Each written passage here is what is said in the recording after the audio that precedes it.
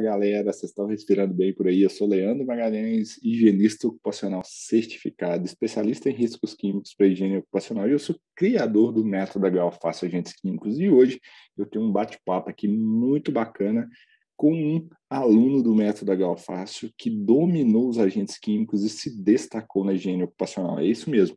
Eu vou bater um papo aqui com o Tiago Senra, que ele é engenheiro de segurança do trabalho na Universidade Federal de Juiz de Fora. E você sabe o que é o mais interessante? Assim, um dos resultados que ele teve é que, mesmo sendo um profissional, né, funcionário público, né, trabalhando em uma instituição pública, ele conseguiu dobrar a renda dele por meio do método da Galfácio Agentes Químicos.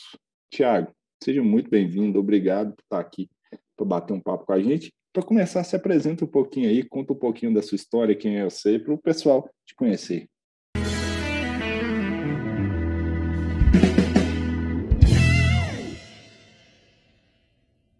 Meu nome é Tiago, eu sou graduado em Engenharia Elétrica, com a minha pós-graduação em Engenharia de Segurança do Trabalho. É, atualmente, eu ocupo o cargo de engenheiro de segurança do trabalho na Universidade Federal de Juiz de Fora e também atuo como perito judicial aqui na região, tanto em perícia trabalhista quanto perícia previdenciária. E, e Tiago, uma das coisas que eu venho conversando com as pessoas aqui, e a gente busca saber, assim, que a gente, o método da Galfácio é um treinamento que eu falo que ajuda as pessoas a dominarem os agentes químicos para higiene ocupacional e se destacar nessa área, né? E se destacar é ter reconhecimento profissional, mais oportunidades de trabalho, às vezes, muitas vezes aumentar a renda, promoção, conseguir mais clientes, etc. E a grande pergunta é se você conseguiu isso que eu prometi e, e se conseguiu, como que foi isso hoje, né? Como que, que você conseguiu isso? Leandro, é uma coisa que eu sempre falo, sempre que eu tenho oportunidade de, de, de falar sobre o curso, é que eu já vi o, resultado nos, nos, primeiros seis meses.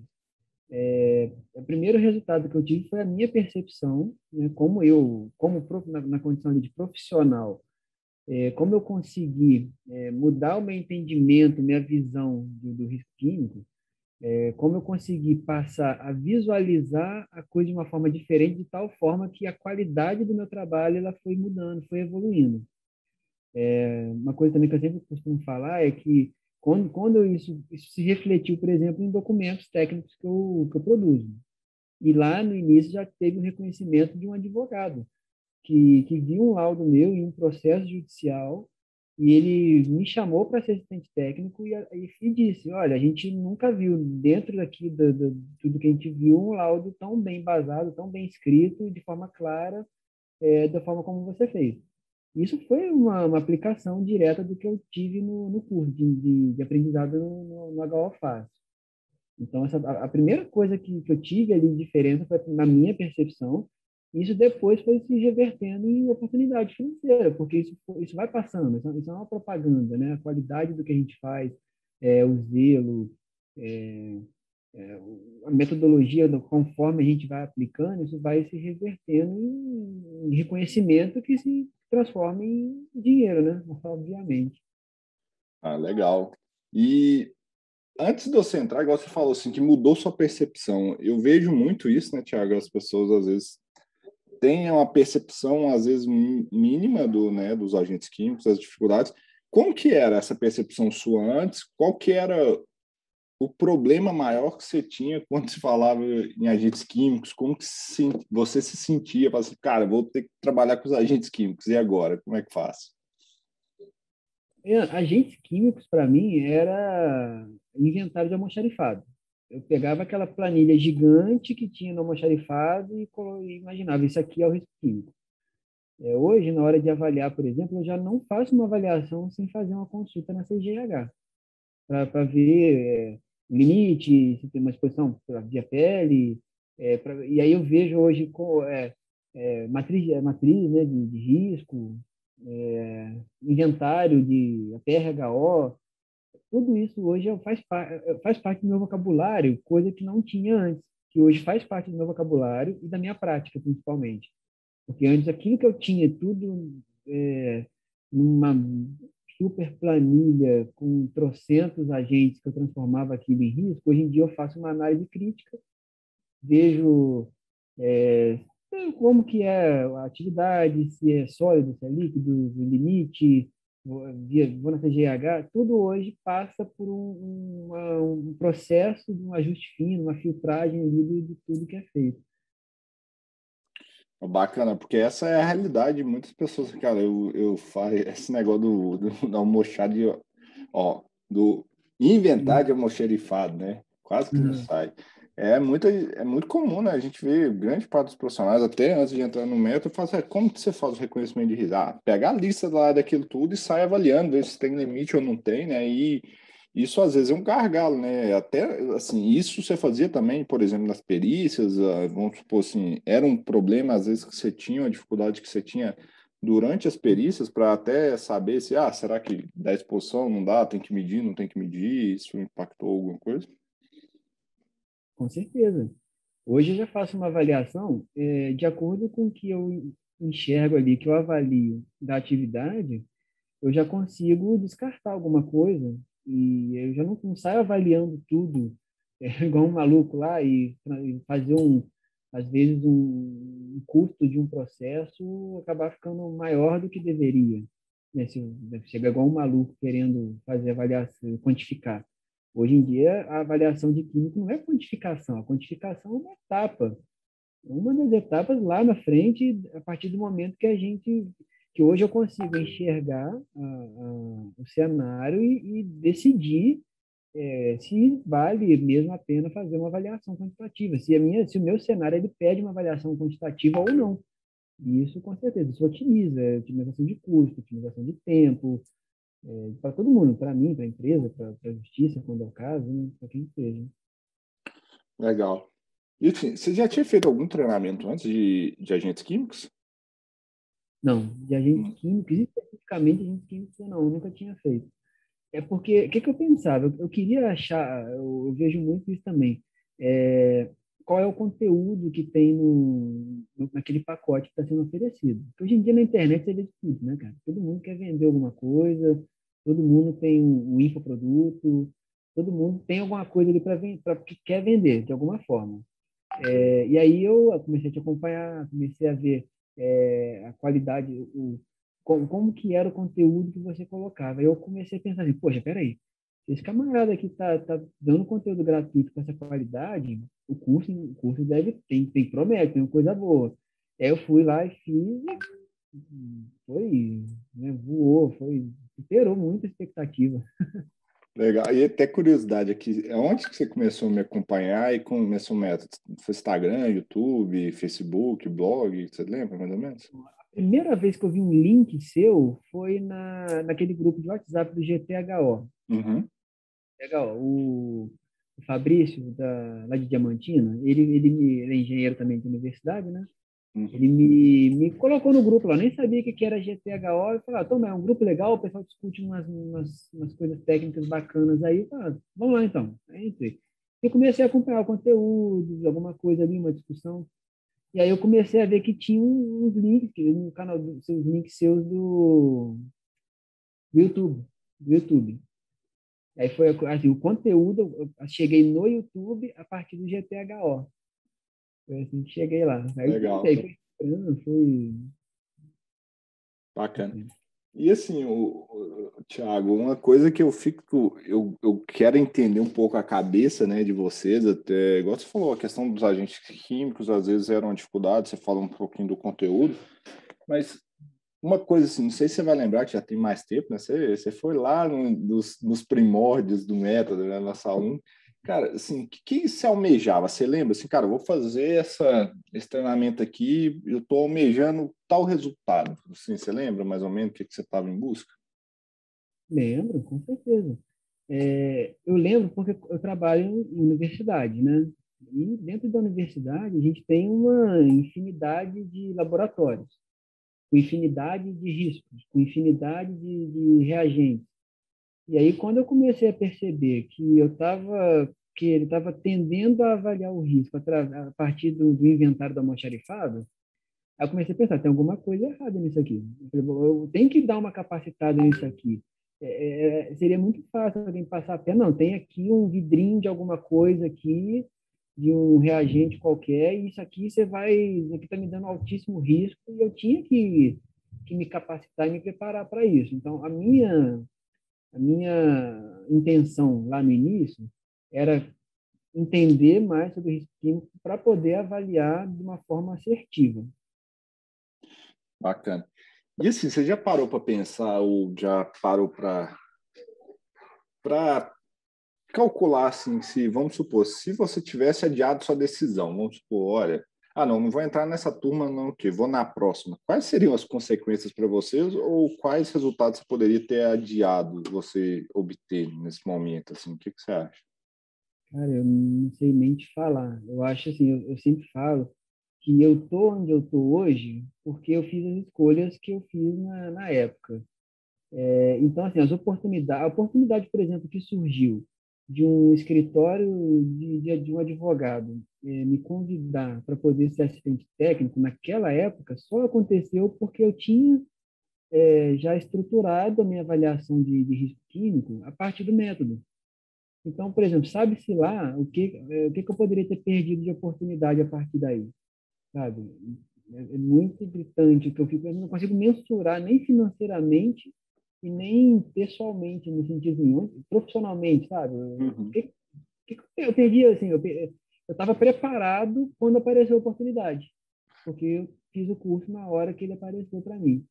E isso é interessante você falar, né? Porque, cara, porque isso é um cliente novo, né? É um cliente que você não tinha, tá, você estava lá e é algo que te ajudou a aumentar um rendimento seu, né? Você teve mais um cliente que aumentou, por exemplo, o seu faturamento com perícias, né? Quando, sei lá, quantos negócios depois surgiu a partir desse escritório de advocacia. E você atuava como assistente técnico, né? eu, nessa época eu estava só como perito, nem estava como assistente técnico. Eu fui, fui chamado para atuar como assistente técnico sem ainda ser um assistente técnico, para trabalhar com assistência técnica recorrente. Eu estava com perícia recorrente, não com assistência técnica recorrente. Então, eu abri um nicho de, de, de mercado para mim que, que ainda não estava aberto. E assim, é, se a gente fosse quantificar assim depois do método, se você pudesse falar assim, na universidade é mais complicado, né? Não, não, tem, não é tão diretamente resultados financeiros assim, mas percentualmente você poderia, quanto que aumentou, por exemplo, o seu faturamento a partir do método com essas com esse conhecimento que você teve, assim, se a gente pudesse falar. Leandro, eu diria que eu dobrei meu faturamento porque eu, foi um, um, uma área que eu comecei a atuar que eu não atuava e que passou a me dar ganhos no mesmo patamar de outros de outras fontes que eu tinha. Então eu, eu dobrei o meu meu faturamento a partir de, a partir daí. Que legal, cara, porque essa questão do, do da, da, pegada financeira, é, eu gosto de conversar muito com vocês, porque é uma coisa que eu não, não, não prometo tão diretamente no, no método da Galface, porque é, até muito tempo atrás, eu ficava muito receoso, porque, cara, assim, eu tinha um receio que é o seguinte, cara, eu, Leandro, tenho resultado financeiro com o que eu sei, mas para as outras pessoas terem resultado financeiro, elas têm que aplicar o que eu tinha. Eu tinha muito medo das pessoas não aplicarem o que eu falava. E aí, uma uhum. das coisas que eu fui desafiado até para a gente bater esse papo aqui era, cara, e resultado financeiro? Será que se as pessoas aplicarem o seu método, é, conseguem ter essas novas oportunidades, esses ganhos financeiros, e isso que você está me falando é muito legal, porque eu acho que principalmente em abrir a cabeça, né? abrir umas áreas e melhorar a qualidade do serviço, e isso, consequentemente, vira uma bola de neve, indicação, mais, mais trabalhos, mais clientes, mais, mais oportunidades. Né? Com certeza, porque o, o poder de argumentação que a gente passa a ter, ele fica diferenciado porque a gente não fala mais no sentido de, por exemplo, eu vou te falar agora como que, por exemplo, atuo principalmente, essencialmente, né, com perícia também, né? É, o poder de argumentação, ele muda, porque o que que acontece? Eu passei a ter um determinado tipo de fundamentação no laudo que me levou a ser chamado para poder trabalhar como assistente técnico, que passou, que isso foi assim, esse, essa argumentação, esse poder de argumentação passou a, a dar resultado na assistência técnica, porque tinha fundamentação, é, isso entrava em contraposição, às vezes, é, a algum, algum laudo, por exemplo, que não tinha fundamentação, isso passou a, a dar um resultado positivo, é, e isso pera, tende a ser um, um efeito cascata, né? Vai virar uma bola de neve do bem, nesse caso. Uma coisa chama a outra, né? Não, com certeza, né? E, e, e, isso a gente bater essa, esse papo aqui, essa conversa, me abre uma, uma mente né, de uma coisa muito importante, porque às vezes eu, te, eu vejo as pessoas terem uma objeção de falar assim, cara, uh, o método da Galface é muito caro, é caro, eu sei o que lá. E, e eu não estou aqui para falar que que ele não tem um custo mais elevado. Eu não vou falar que ele é caro, né? Porque é, só desse resultado que você falou aí, ele é interessante. Assim, ele tem um custo mais alto em relação a outros treinamentos, né? E assim, eu, cara, o resultado está explicado. Assim, é, o, a metodologia, apesar de ser mais cara, foi a que te ajudou a alavancar seus resultados hoje. A gente poderia falar isso. Com certeza. O, a metodologia, a fundamentação que a metodologia traz junto com ela, ela, ela galgou esses degraus a mais aqui para mim. Porque eu falo que não, não foi eu, não, não, eu investi no, no, no, treinamento, não foi um curso. O que eu, o que eu falo assim, o que eu paguei para na época do curso, já, já recuperei há muito tempo. Eu já, assim, o que eu tenho de lucro líquido, se a gente for pensar em termos do que eu investi no curso, já está já superou e muito, muito, muito rápido. E assim, agora é curiosidade minha mesmo. Cara, mesmo sendo um curso mais, mais caro, né, de um valor mais alto, não mais caro, um valor mais alto que a média dos treinamentos aí do mercado, o que que, o que, que você decidiu me dar um voto de confiança? Cara, é, primeiro a questão de ser um método, porque quem trabalha com técnica tem que trabalhar com um método. Então, primeiro passo, primeira coisa que, que, que, que pesa é, é a questão de ser um método. Segundo, o suporte. E você está sempre disponível para dar suporte, que é uma coisa que, assim, eu fiz outros cursos online e outros cursos de outros treinamentos e não tem o suporte que a gente tem fazendo HO fácil. É, então, o suporte é diferenciado. Se, se, a equipe que tem ali junto com você também ajuda muito no suporte. Isso, isso isso pesou. É, eu, saber que, que, ia ter o suporte também pesou muito para mim, porque me deu segurança. Você sempre falou o seguinte: a gente quer ser o porto seguro, a gente quer ser o porto seguro. E, e isso, isso realmente aconteceu. Eu, que eu paguei por isso, para ter esse porto seguro, porque a gente está aprendendo quando a gente está entrando no curso, é muita novidade.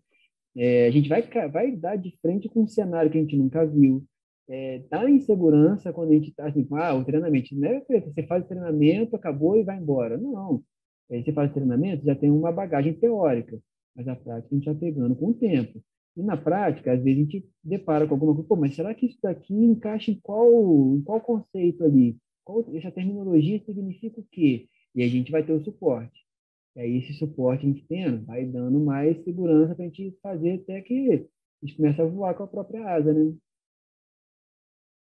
Com certeza. É, é eu, eu, vejo isso, que é até questão do EAD, às vezes, a, às vezes as pessoas ainda têm objeção quanto ao EAD, né? Falam assim, ah, não sei o que, treinamento EAD, agentes químicos, é muita coisa prática, não sei o que. Mas eu, o que eu fico pensando, assim, eu, eu, vezes, eu faço muito treinamento, às vezes, lá na AIA, nos Estados Unidos, né? E esse ano, ano passado, né? Principalmente, eu fiz EAD. E, cara, assim, para mim, é, a minha resolução de vida agora é fazer treinamento EAD. Vou ser bem sincero com você, a minha experiência, tudo bem, assim, eu acho que a gente está a gente, quando bolou, né, toda a estrutura de suporte, isso que você falou do método Legal Fácil, foi bem nisso, né, cara? A gente tem que estar tá junto com o pessoal, não é abandonar todo mundo. Porque eu sinto falta ainda disso no mercado até americano, né? Eu fiz cursos lá na AIA que me custou 400 dólares um dia, e, cara, entregou ali ao vivo, entregou, e pronto, entendeu? E aí eles te dão uma gravação de oito horas, assim, você vai lá e assiste. Mas para mim ainda é muito melhor, que eu posso voltar, reassistir. Mas igual quando a gente coloca aquele negócio tudo estruturado, com fases, tudo bonitinho, a equipe de suporte, comunidade, e hoje eu não penso é, meia vez, cara, em treinamento EAD, porque além de tudo, a parte prática ela pode ser filmada, né? E às vezes as pessoas têm essa aquela objeção até, ah, mas eu tenho que encostar no negócio. Treinamento presencial não vai te dar o know-how da prática, você tem que botar o treino em prática mesmo para pegar o know-how, não é? Isso é verdade. E eu te falo até assim, já que você, já que você tocou nesse assunto aí, eu sou, eu, falo por mim, eu sou uma pessoa que tem objeção a, a, ao online. Eu sou muito do presencial, do conversa, do, do tete a tete, eu sou disso. É, por isso que eu falo com medo. Nesse caso é, do, do, do, do, treinamento, é porque eu, eu, eu tive uma, uma, boa experiência que é diferente de qualquer das outras experiências que eu tive de curso online, por causa disso. A gente tem o cenário, no curso tem lá, tem lá no curso, lá, você tem um vídeo de um cenário que a gente faz uma análise daquele, de uma situação ocorrendo e a gente faz uma avaliação em cima daquilo analisa e reconhece risco, que que um dos pontos chave para mim é essa questão do, do, reconhecimento do risco ali, sabe? Nossa, ali é, é, é a virada de chave ali para mim, eu pessoalmente foi, foi no reconhecimento de risco. E eu tenho essa, essa, essa esse bloqueio com o online, que eu falo, não, o H-Alfase não perdeu para o presencial, até porque ele foi tão o, conteúdo do curso do treinamento ele é tão tão bom quanto presencial com a diferença que eu vou ter o, o ano inteiro de suporte. E o ano dois anos renovável quanto tempo precisar de suporte direto não uma gravação. Você conversa com a gente no grupo no dia a dia. É, exatamente cara. É, é, isso mesmo que eu, que eu pensei. Eu não quando a gente estruturou eu falei assim, ah, a gente não pode ser só mais um né cara? O que, é que vai diferenciar aí e, e, o que eu via muito de, de, treinamentos, inclusive treinamentos EAD, e você tocou num ponto muito chave, Thiago, que, eu, que me faz refletir muito. Quando eu comecei a fazer alguns treinamentos de agentes químicos aqui no Brasil, o que eu mais sentia dificuldade era assim, eu ia fazer treinamento, o instrutor, a única coisa que eu sabia falar era coletar amostras. Ah, para você coletar a amostra, você vai montar uma bomba aqui, você vai usar esse amostrador, esse negócio. Eu falei assim, cara, o problema não é coletar amostra coletar amostras é, é a coisa mais fácil que existe na higiene ocupacional, na boa. Eu quero saber o que, tem de risco no ambiente. E, e, eu não achava esse treinamento aqui. Hoje, assim, a maioria dos treinamentos que eu vejo, pelo menos, não sei se você tem essa percepção no mercado também, é assim, cara, é ensinando o cara a ser só mais um coletor de amostra. Vai ali fazer mais do mesmo. Não sei se você percebe a mesma coisa assim. Ah, percebo, com certeza. É, até um, não sei se é, o Thiago Guimarães, né, que é aqui da região, uhum. pô, meu parceiro aqui, é parceiro de, de, de, A gente fechou parceria, por exemplo, eu é, quando, a gente tem, quando eu tenho na perícia fazer um levantamento, quantificação de, de algum agente, eu, eu converso com ele, a gente troca ideia, a gente, a gente fechou assim, uma parceria bem bacana aqui, que a gente vai, vai trabalhando, discute, e, e ele também é aluno do método, né? Então, assim, o, o, nível da conversa, a gente, hoje em dia, pelo nível da conversa que a gente tem, de conversar com outro aluno, quando eu converso com outro profissional aqui da região, a gente fica pensando, nossa, olha a cabeça da, da, da pessoa como, como que é presa, às vezes, no NR, é, ela quer, assim, ela quer ser, igual você fala, o mal necessário só.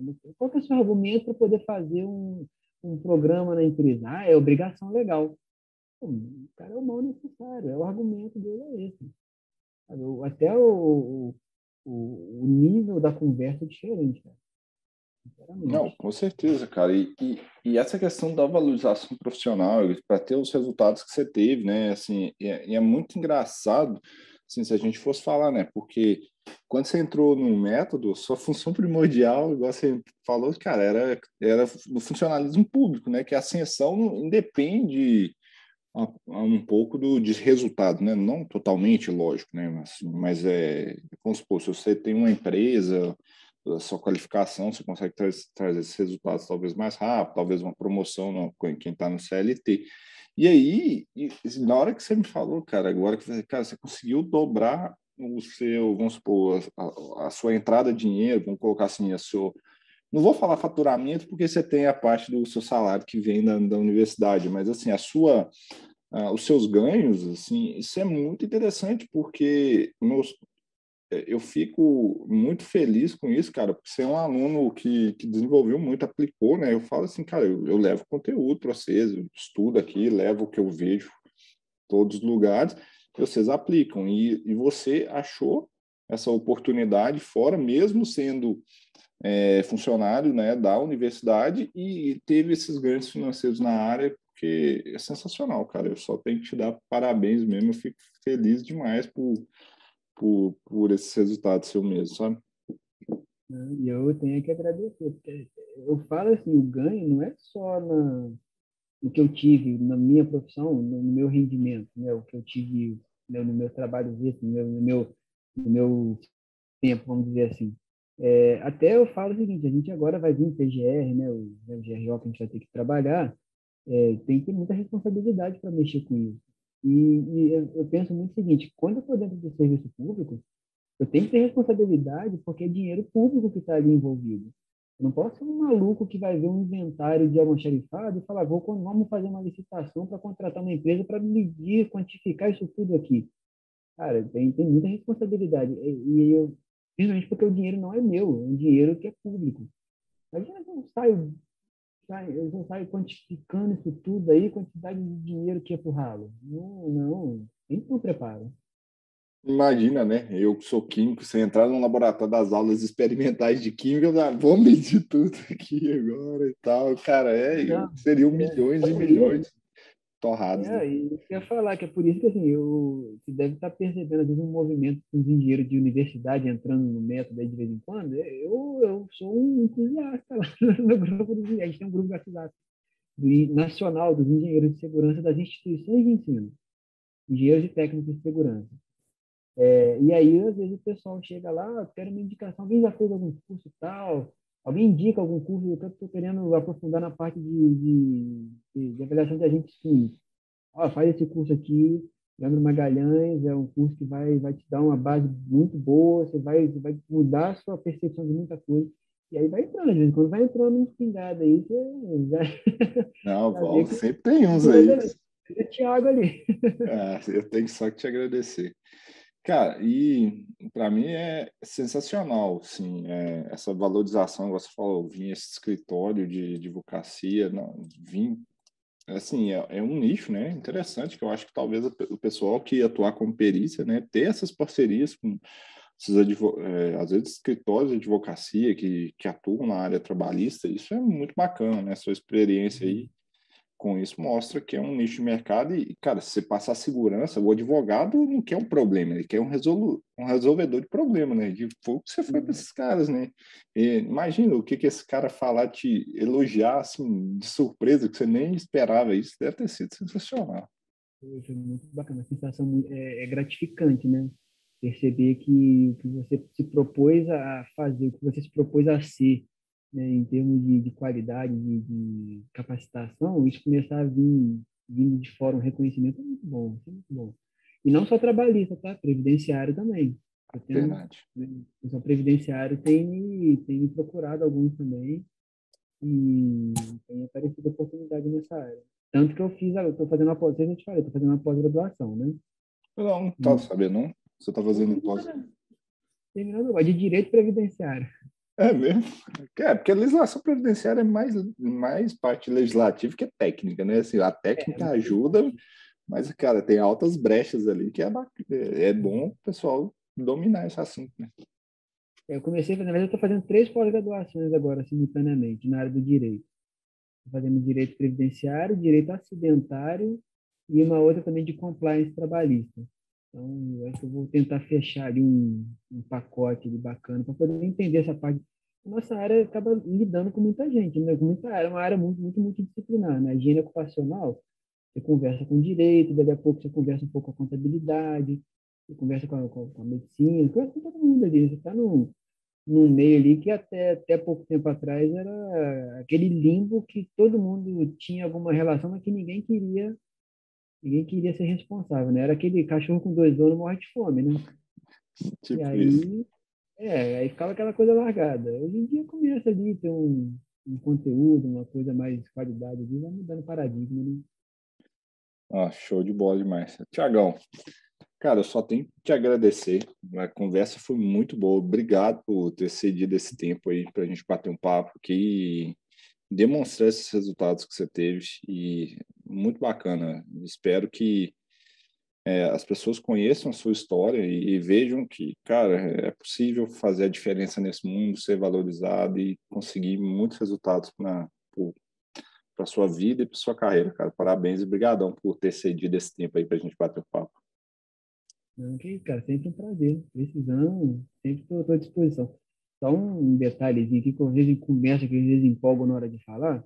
Na hora que eu falei, por exemplo, ah, eu toco ideia com o Thiago, o Thiago Guimarães, e, né, alto nível, nosso nível de conversa ali é alto nível e às vezes fica parecendo que a gente está desmerecendo os outros profissionais, né? Que a gente conversa com os outros ali e, e não, a gente não desmerece os outros profissionais. Os colegas, eles só têm, às vezes, percepção, ainda não conheceram o HO fácil.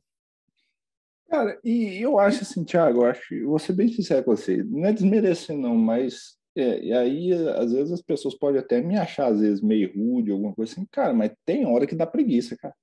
Assim, é, quando você pega, assim, e eu, eu, eu vou ser bem franco aqui, né, que, cara, na hora que eu pego, eu vou conversar com profissionais da área de segurança do trabalho, que a única coisa que eles sabem falar é insalubridade, insalubridade NR15 na área de agentes químicos, eu vejo quão limitados eles estão, quanto eles estão precisando abrir a cabeça, né, e dar os próximos passos. É isso que você falou. Não, não acho que não é prepotência nem arrogância, não. Mas assim, cara, o jogo está em outro patamar, cara. Eu acho assim, é, algumas eu tenho muito orgulho daquela comunidade ali, que tem hora que eu olho umas discussões e falo assim, caraca, cara, o nível tá, a baliza tá lá em cima, cara. E assim, tanto é que você não vê esse nível de discussão em quase nenhum grupo de, de WhatsApp liberado aí. É exclusivo. A galera, o nível está muito alto mesmo de discussão e resolver problema. E não tem perguntinha boba mais, né, cara? É pergunta de alto nível, assim, padrão. Você fala assim, cara, esses caras estão resolvendo o problema das empresas, com certeza. Uhum. Ao mesmo tempo que a gente vê que o pessoal que entra, às vezes tem uma pergunta mais é, teórica, às vezes uma pergunta mais, mais da base ali, e o pessoal vai e responde numa boa ali, todo mundo, a comunidade é bacana nisso, né? Todo mundo conversa ali, desde o mais alto nível até quem está ali começando, consegue entender e acompanhar o assunto, né? Com certeza. E, e é a paciência, né? Se, tipo, se a pessoa, às vezes, elas têm liberdade de falar, ah, não entendi o assunto, a gente vai lá, explica, eu tô lá, a equipe tá lá, todo mundo para dar o suporte. Uhum. Verdade. E que ser outra coisa também, não é questão de menosprezar, até porque eu, a gente está sempre aprendendo, né? Eu, ah, hoje eu estou num patamar, mas eu falo, eu subi um degrau, um degrau só, mas é o primeiro é mais difícil. É aquele um degrau que vai levar para mais outros degraus, né? Então, claro, eu tenho muito para aprender, eu tenho muito para aprender, muito, caminho ainda para trilhar. É isso aí mesmo. Então, cara, brigadão mais uma vez. Parabéns pelos resultados e fico feliz demais por tudo que você alcançou aí. Tamo junto aí.